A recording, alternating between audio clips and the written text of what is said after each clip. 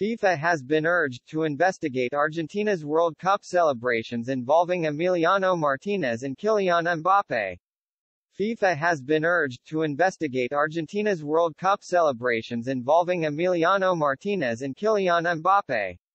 Argentina lifted their third World Cup in Qatar after a penalty shootout victory followed an enthralling 3-3 draw in which France fought back from two goals down and equalized twice.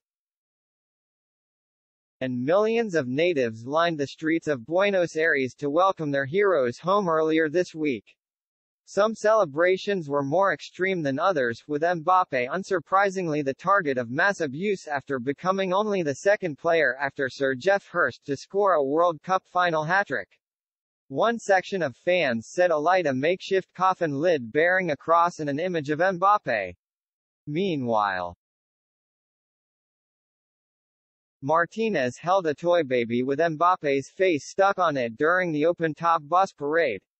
French Finance Minister Bruno Le Maire has called on FIFA to investigate the undignified mockery of Mbappe and Les Bleus. He told Sud Radio, What is FIFA doing? Sport is about fair play. It's showing respect for others. It's showing respect for those who lost.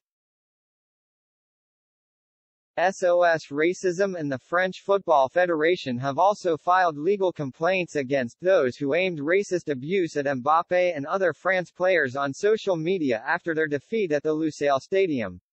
It is the expression of a far-right ideology that says that these people should not be considered French, SOS Racism's Secretary General said.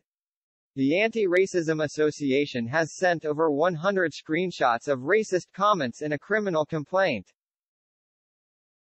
The majority of France's squad are of African descent, with Kingsley Coman and Aurelien Tchouameni two of the players who have been abused after missing their penalties in the shootout.